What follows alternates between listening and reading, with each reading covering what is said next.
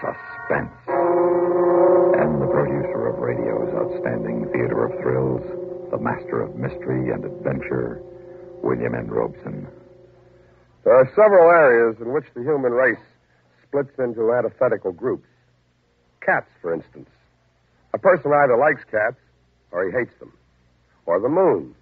There are those who want to visit it, and there are others who prefer to use moonlight for the purpose God intended. And then there's hunting. Some men must prove their manhood by bagging bigger and bigger game.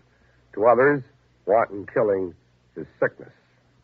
Our story concerns two such men and a wounded lion. A story we believe will indeed keep you in suspense. Listen.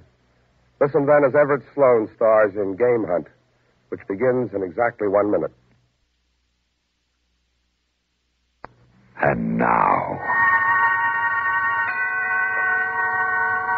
Game Hunt, starring Everett Sloane.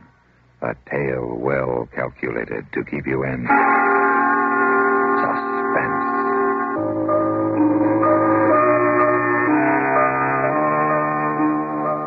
The day had begun much the same as the other mornings on safari.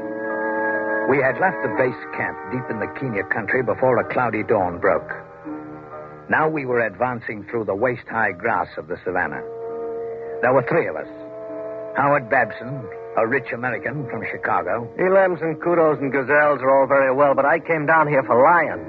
and there was a mission educated native tracker whose unpronounceable Maasai name had been simplified to Charlie. You don't worry, Bwana. This lion country. Good lion country. And lastly, there was me, Jeffrey R.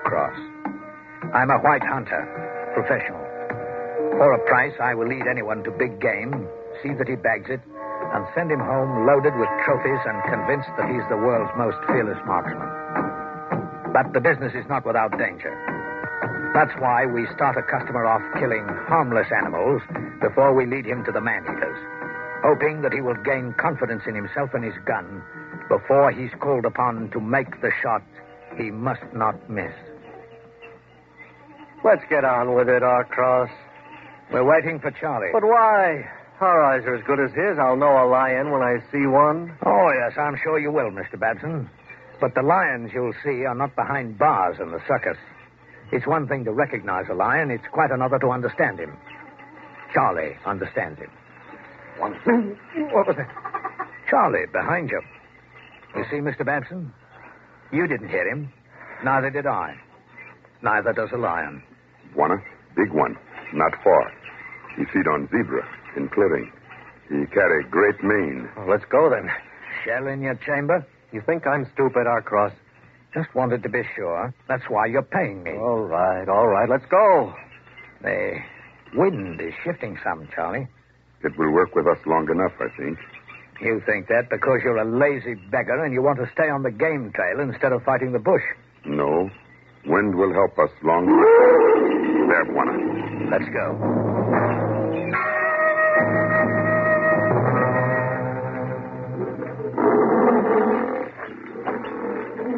There you are. There's your trophy. A black mane. Oh, He's big. It's a beauty. Can he smell us?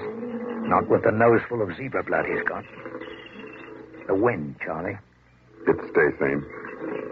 You won't be able to take him the way he is, low behind the zebra, Babson. But he's bound to move before long.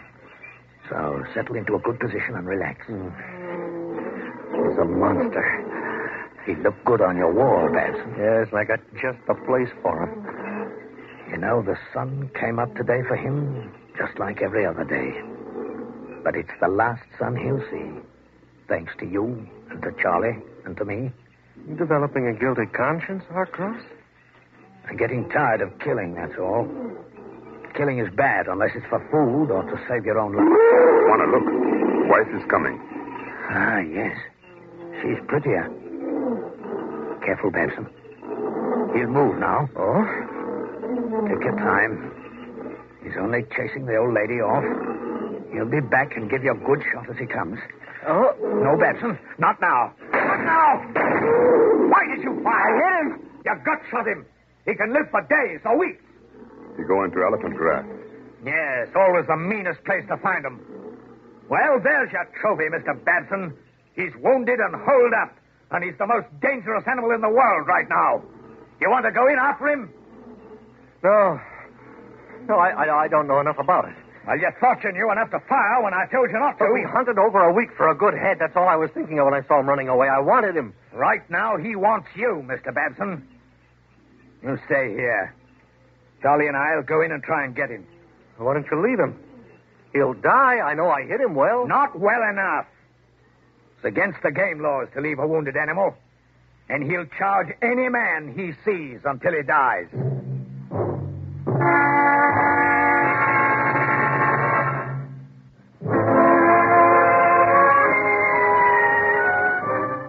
Along with my services and my knowledge, Mr. Babson had bought my courage. And I was cheating my customer because I no longer had that much courage for sale. When Charlie and I entered the high grass, he was carrying not only my heavy rifle, but my canteen filled with brandy. I finally got so I hate 'em, Charlie. I've disliked them for a long time, but now I hate 'em. Uh, which, Bwana? The trophy hunters, the lords and the movie stars and the millionaires, the complainers about the sun and the rain and the flies. I hate 'em. For me, I hate tall elephant grass. The elephant grass belongs here. It grows so that gut-shot lions will have a place to hide. This lion knew all along that one day a gut shooter had stopped making money in Chicago and come to visit Africa. That way. He went into grass beyond High Ant Hill. A nasty stand to cover. Grass over eight feet high. Yes, Bwana. You can't see 15 paces into it. It'll take our friend only the time of a breath to cover that distance. Well, let's look for sign. Look, Buana. Blood. Dark, thick. Come from deep inside. No artery cut, though. He's a slow bleeder. A ruddy slow bleeder. Give me the canteen, Charlie. We could wait, Bwana. Our friend will stiffen. Yes, only the wind isn't for us now, Charlie. Coming in from every quarter. Can get our scent from any direction. And the smell of rain now, too. I don't catch it. Are you sure? It comes soon, I think. If you smell up a rain, the blood spoor will be washed away. You smell too much. You smell the fear that's in me, haven't you? For the first time. You're an insolent beggar. You asked me, Bwana. Look ahead where he lay down. See? His head was here, looking this way. Yes. Down the back trail, waiting for us. See? Claw signs. He is close enough that he caught our scent and got up and ran. He has not stiffened. And he's waiting again. Up ahead. He has nothing else to do. No. You've got a wife and children, Charlie.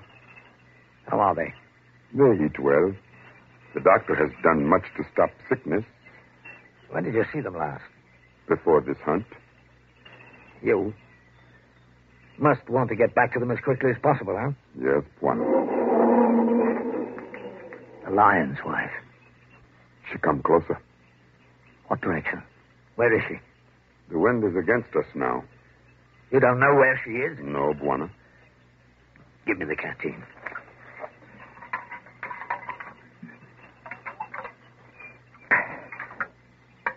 You ever been to Nairobi, Charlie?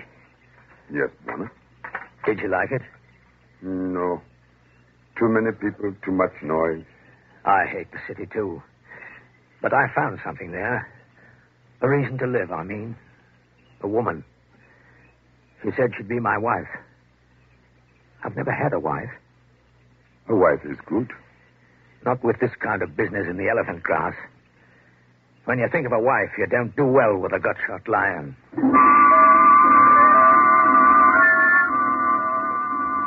Then the rain began to fall, and the center of the stand of grass was now a place of dull gray light and darker shadows. Do you still find sign in this much, Charlie? Mm, Too much. He stay on old trail. His wife has been to him. Has been to him. Hmm, See? His tracks. Look at the size of that forepaw. He's bigger than I thought. And here, her tracks. Going other way. What? That puts her behind us now. Yes, Bwana. Now she hunts us.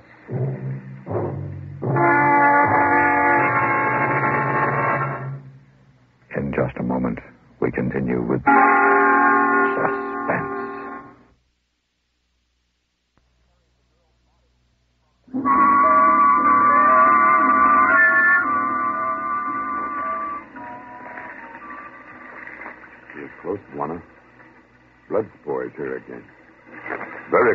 rain would have washed it away. See? Yes. Very close, Charlie.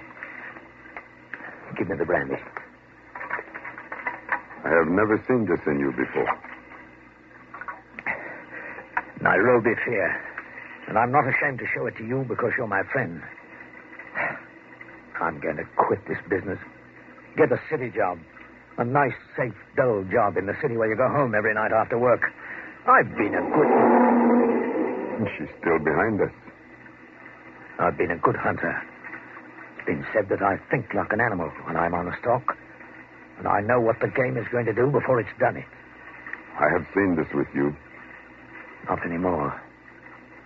After Nairobi, it left me. After the woman, I thought only as a man. But the female crossed the trail. Did you see her? Yes, Bwana. I'm going to put her out of the way. We can't have her trailing along behind. Where is she, Charlie? It was close to here that she crossed. Ahead, Bwana. You see?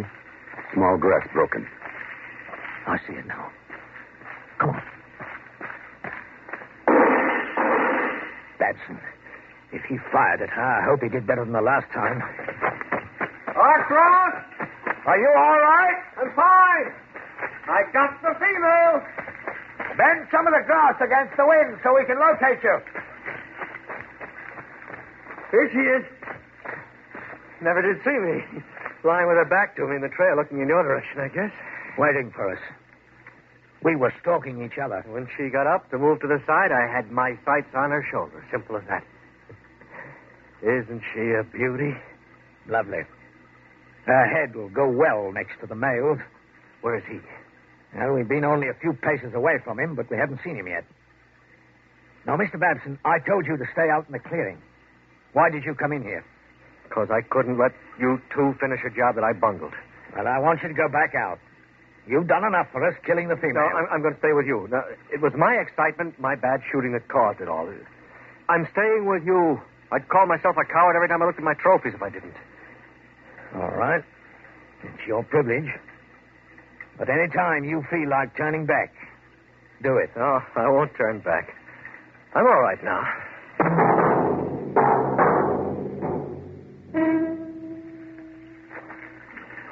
Bwana, here is where we were close to him.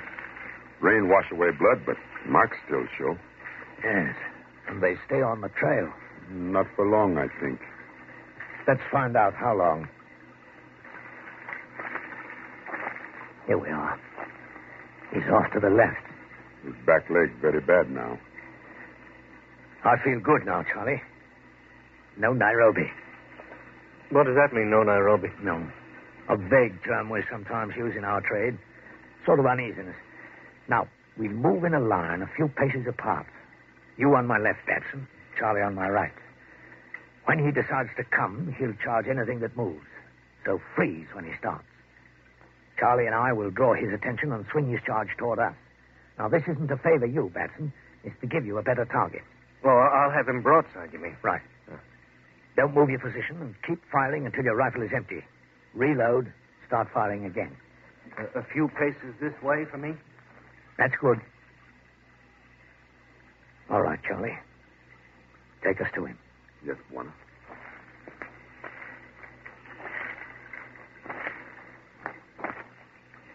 Bwana. Charlie, ahead. You see the tops of the grass moving against the wind? I see it. It could mean he's down and can't get up. At any rate, we know where he is.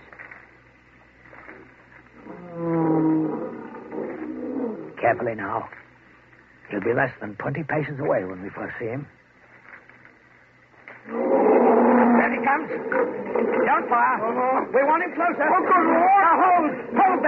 Hold that. No. We're swinging this way. I can't start. Freeze. I can't hold. Come on. Open up, Charlie.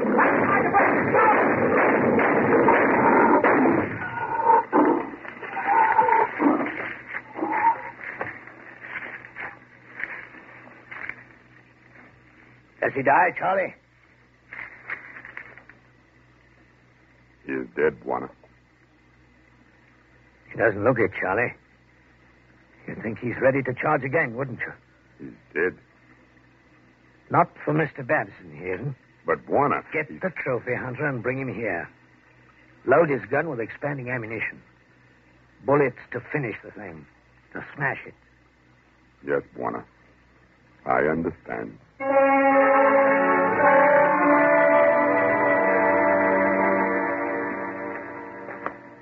I'm sorry I, I ran across him. I, I couldn't help it. There was nothing I could do. Well, of course there wasn't. Your first time and all. Yeah. Well, where is he? Come here, I'll show you. Over there. You can just see his head. Yes. He'll be ready to charge again if we let him rest. I thought you'd like the final shots. I would. All right. Put your sights right under his ear and a bit to the front. Check the safety. Mm-hmm. Go ahead. I hit him? Again. Don't take any chances. One more. That will do it, I think. Well, let's look at him. Well, congratulations, Mr. Babson. You've killed your lion. Oh, but his head. He, he's worthless as a trophy. His head's blown to bits. Yes, it's a shame. One of those things. I'm afraid it had to be this way.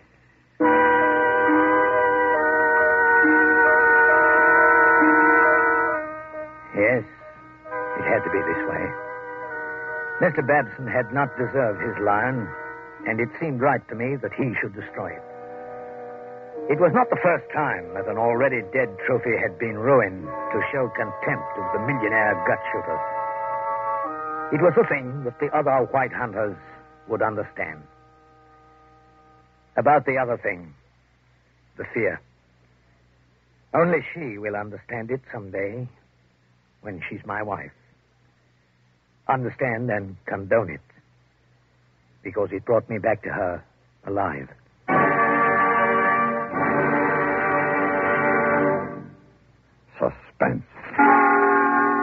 Which Everett Sloane starred in William N. Robson's production of Game Hunt by Gil Doud. Supporting Mr. Sloane in Game Hunt were Lawrence Dobkin and Roy Glenn. Listen. Listen again next week when we return with another tale well calculated to keep you in